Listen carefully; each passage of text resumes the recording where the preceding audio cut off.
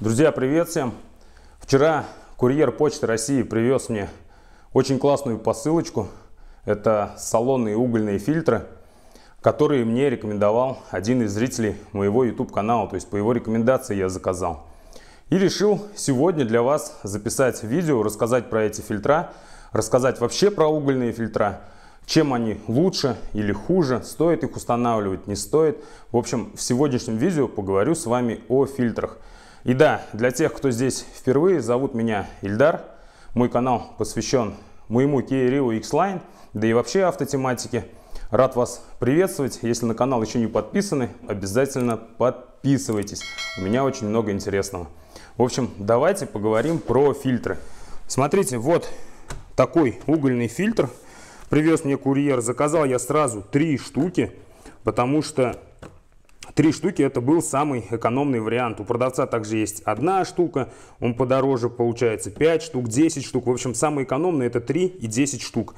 один вышел, по-моему, 360 рублей, то есть за одну штуку вот в этом комплекте. В общем, ссылочки в описании под видео, перейдете, посмотрите. Этот фильтр, сразу скажу, подходит на Kia Rio 4 поколения, Kia Rio X-Line, Kia Rio X, Hyundai Solaris 2. И у продавца есть фильтра практически на все автомобили, вот такие угольные. Так что на сам магазин продавца также ссылочку в описании оставлю.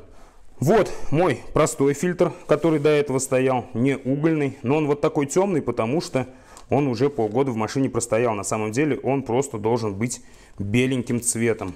В общем, давайте сравним этот с этим, расскажу в чем вообще отличие. Для тех, кто не знает, вообще фильтр необходимо менять. Хотя бы я вот рекомендую салонный фильтр менять хотя бы раз в полгода. Если вы много ездите, если вы по бездорожью, по плохой дороге ездите где-то, пыли у вас много в районе, то менять надо еще чаще, потому что этим воздухом вы дышите в машине. То есть очень сильно это все влияет на ваше здоровье, плохой фильтр. Смотрите, что будет, если долго не менять фильтр. Ну, во-первых, у вас будет падение производительности климатической системы, шум от печки может начаться, запахи разные появляться начнут, пыль начнет проникать, э, вредные выхлопные газы, которыми вы будете дышать в машине. И во влажную погоду у вас начнут потеть стекла. То есть, если вдруг у вас начали потеть стекла, раньше вы такого не замечали и начали потеть во влажную погоду, обязательно проверяйте салонный фильтр. Также плесень на фильтре у вас может образоваться, если вы долго его менять не будете. И представляете, потом вся эта плесень к вам в салон внутрь полетит, и вы ей будете дышать. Поэтому фильтр проверяйте. В чем разница между простым фильтром и угольным? В простом фильтре абсорбирующий материал, то есть из чего он изготовлен, это, как правило, синтетика, а, либо полипропилен, в общем, синтетические такие материалы. И такой фильтр задерживает в основном только а, пыль, насекомых различных и, по идее, все. Здесь же в угольном фильтре его многие называют еще пропитанный углем, то есть многие считают, что от него толку нету, но я сейчас вам расскажу, что есть от него толк, почему есть толк. В общем, вот это угольный фильтр, здесь внутри частички активированного угля находятся. Конечно, здесь его мало, Э, многие напишут, что здесь должно быть миллиметров 7 толщиной угля, чтобы он нормально работал. Но скажу я вам, это уже будет какой-то противогаз. Такой фильтр тоже работает. Я не первый раз покупаю угольные фильтры. На прошлом Рио своем я в основном пользовался угольными фильтрами.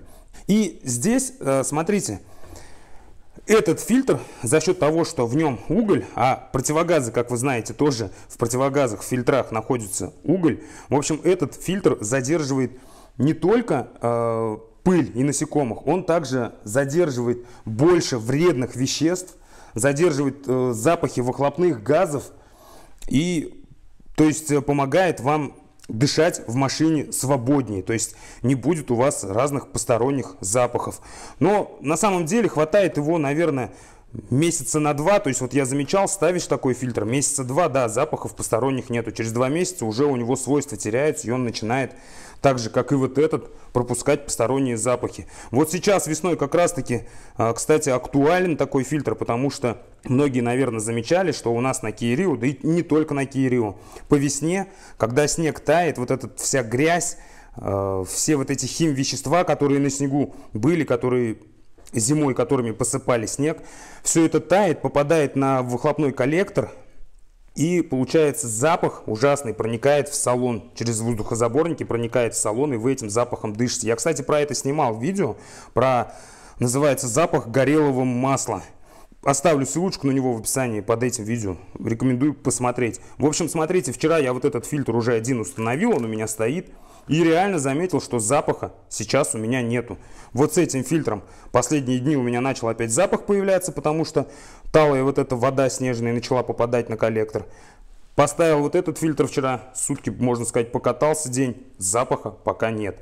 Ну, на 2-3 месяца, в общем, его хватит, потом он также начнет уже запахи пропускать. Но я, как правило, каждые полгода фильтра меняю, поэтому по цене, кстати, вот этот фильтр даже дешевле, чем вот этот.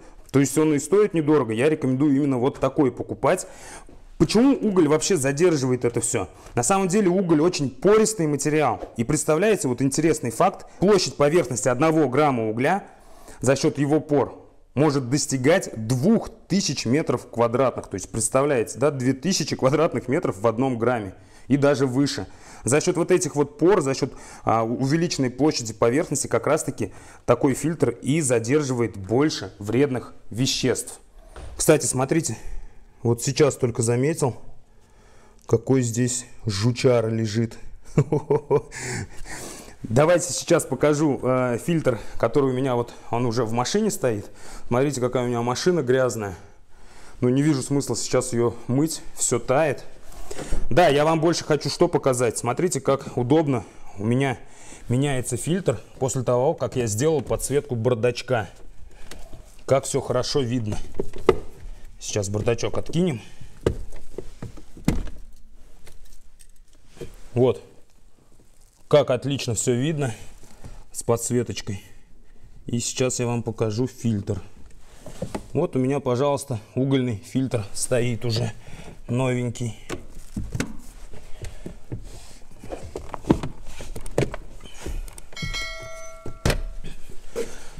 К чему я это все? Да к тому, что если вам интересно и вы не видели видео, как сделать подсветку бардачка в Kia Rio, в Hyundai Solaris, посмотрите, у меня на канале есть видео, в общем, как сделать подсветку. У этих двух фильтров даже разница в весе есть. Если этот фильтр такой прям легенький-легенький, то этот весит ну, раза в полтора, наверное, тяжелее. Именно за счет того, что у него есть вкрапление активированного угля. Какие выводы? А выводы такие, что угольный фильтр все-таки больше задерживает вот этих различных вредных веществ, выхлопных газов, неприятных запахов, Поэтому я рекомендую все-таки ставить вот такой угольный фильтр. Кто-то сейчас напишет, что это просто угольная пропитка, что толку от него нету, но я еще раз повторю. Я с угольными фильтрами ездил на прошлом Рио еще и реально прям замечал, что запаха меньше. А сейчас вот те дни я катался с этим фильтром, запах был вот этой вони горелой от коллектора. Установил этот фильтр, запаха пока нету. Хочу сказать, кстати, огромное спасибо Андрею Э, зрителю моего канала, который мне эти фильтра порекомендовал. И про доставку я уже не помню, сказал вам или нет. В общем, доставка заняла всего лишь 5 дней, представляете? То есть я заказал, ну, со склада в Москве, и через 5 дней уже курьер Почты России мне позвонил. Встретились мы с ним, и он мне передал эти фильтра. Друзья, прошу вас в комментариях обязательно написать, как часто вы меняете салонный фильтр в своем автомобиле? Меняете ли вы вообще его? Может быть вы забили и не меняете его? Ставили ли вы угольный фильтр? Понравился он вам, не понравился? Почему понравился, почему не понравился? Какой фильтр вы используете, то есть какой фирмы, какой бы вы порекомендовали. В общем, пишите обязательно ваши комментарии, я каждый комментарий читаю, каждый комментарий ценю. Люблю с вами пообщаться, люблю на ваши комментарии отвечать. Если у вас вдруг тоже есть что-то интересное, что можно заказать для нашего автомобиля, обязательно ВКонтакте мне скидывайте ссылочку, посмотрю, возможно закажу и видео сниму. И, кстати, ребят, обязательно вступайте в мою группу ВКонтакте, потому что там, в этой группе, я периодически публикую различные промокоды и скидки для покупок на Алиэкспрессе. Если будете что-то на Алиэкспрессе заказывать, то Использовав промокод, сможете получить хорошую скидку, поэтому вступайте в группу ВКонтакте, ссылочку на нее в описании под видео также прикреплю. Ну а если этот ролик вам был полезен и понравился, Ставьте палец вверх, подписывайтесь на канал, если еще не подписаны. Впереди много интересного и полезного. Всем удачи, пока-пока.